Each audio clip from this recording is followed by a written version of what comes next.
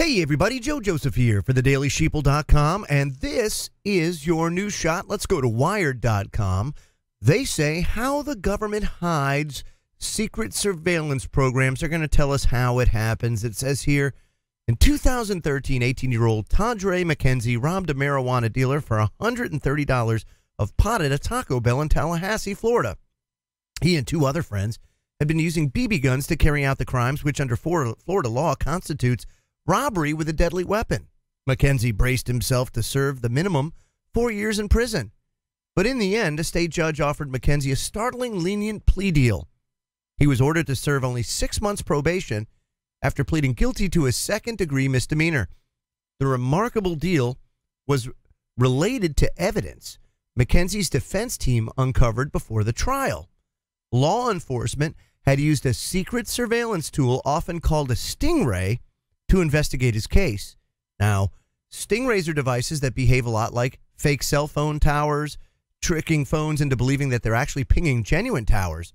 But using the device um, actually uh, lets cops determine a suspect's uh, precise location, uh, the outgoing and incoming calls. They can monitor those, and they can even listen in on a call or see the contents of a text message. So McKenzie's lawyers suspected that uh, cops had used a stingray because they knew exactly where his house was, and they knew that he left his home at 6 a.m. the day he was arrested. And the cops had obtained a, a court order from a judge to authorize Verizon to hand over data about the location of uh, McKenzie's phone. But cell phone tower data isn't precise enough to place a device in a specific house. So the cops also said that they used a database that let them, or let law enforcement rather, uh, locate individuals by linking them to their phone numbers. But the phone McKenzie was using was a burner and not associated with his name. Law enforcement couldn't adequately explain their extraordinary knowledge of his whereabouts.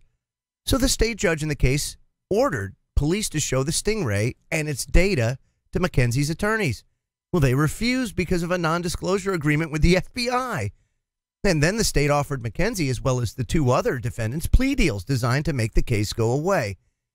The cops in the McKenzie case had ultimately failed to successfully carry out a troubling technique called parallel construction.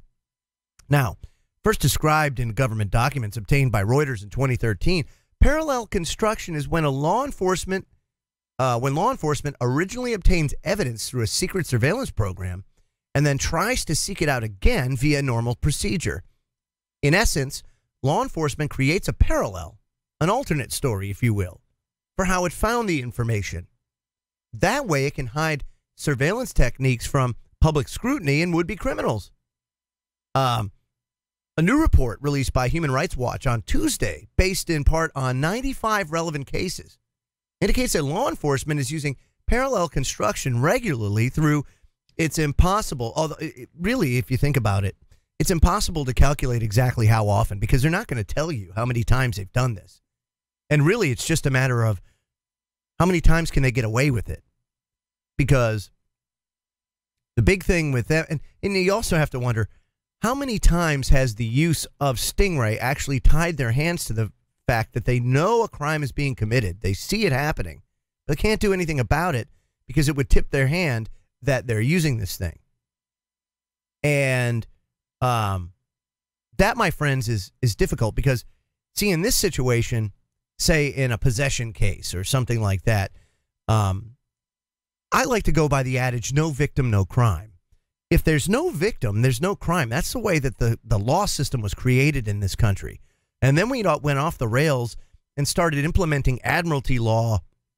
And how admiralty law works is basically whatever the edict or the the rule that the captain sets forth, then you have to follow it. And if you don't, why then there's you know corporal punishment or even uh, jail time or any sort of punishment associated with it. That's how we get speeding tickets. That's how there's nobody injured when you when you speed, right? You you sped. Of course, you know, cops pull you over, they give you a ticket, even though you've injured no one. And, uh, you know, a lot of people say, well, because that makes the road safer. Actually, there's been studies conducted that show that speed limits don't make the road safer. As a matter of fact, they make them more dangerous because what ends up happening is in the enforcement effort, you actually cause more problems than you create a safer environment for.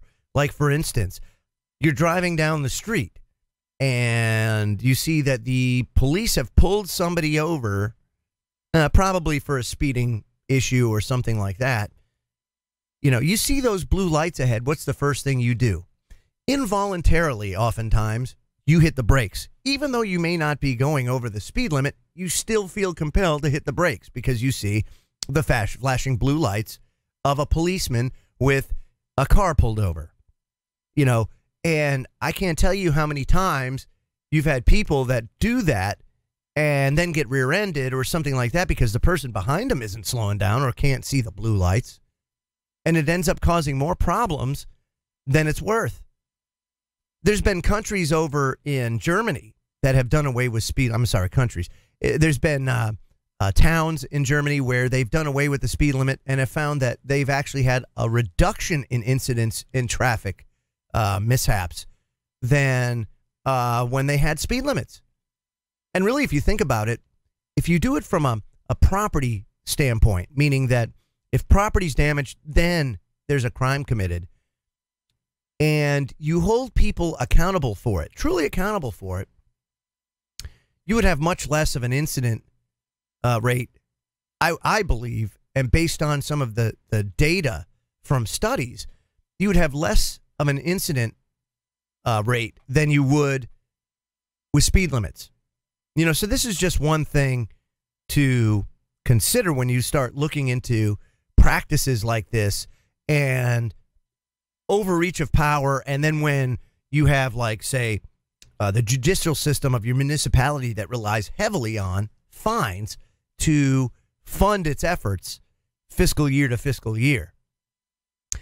It says here when attorneys try to find out if there's some kind of undisclosed method that's being used, the prosecution will basically stonewall and try not to provide a definitive yes or no, which, of course, is probably a glaring red flag uh, that there's something nefarious going on. It says in inv- investigation reports, law enforcement will describe evidence obtained via secret surveillance programs in in uh, basically um, in terms that haven't been used before. Listen to this. It says, "quote We've seen plenty of examples where the police officers in those reports write, quote We located the suspect based on information from a confidential source, like it's the media." They use intentionally vague language," said Nathan Freed Wessler a staff attorney at ACLU's Speech Privacy and Technology Project. Quote, it sounds like a human informant or something else, not like sophisticated surveillance devices. And sometimes when a savvy defense attorney pushes, an unbelievable plea deal is offered or the case is dropped entirely. And if a powerful secret surveillance program is at stake, a single case is often deemed unimportant to the government.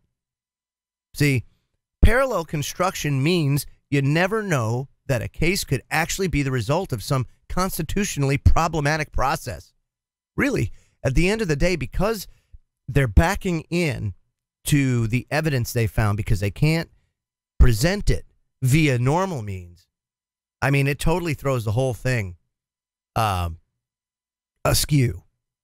So, very interesting. We have more and more municipalities that are utilizing this technology, but oftentimes and this is very important, all you defense attorneys out there, is to really push as far as how they obtain this evidence. Because you could very well, and probably more often than not, get your clients off or at least on a reduced sentence because of the way that law enforcement has violated your rights, has violated the Constitution, utilizing these secret surveillance programs. So make sure you check this out. Wired.com. What a great piece. I'm Joe Joseph. This was the dailysheeple.com's news shot. Feel free to comment below and visit our website at thedailysheeple.com. Hashtag wake the flock up. Have a great day, everybody.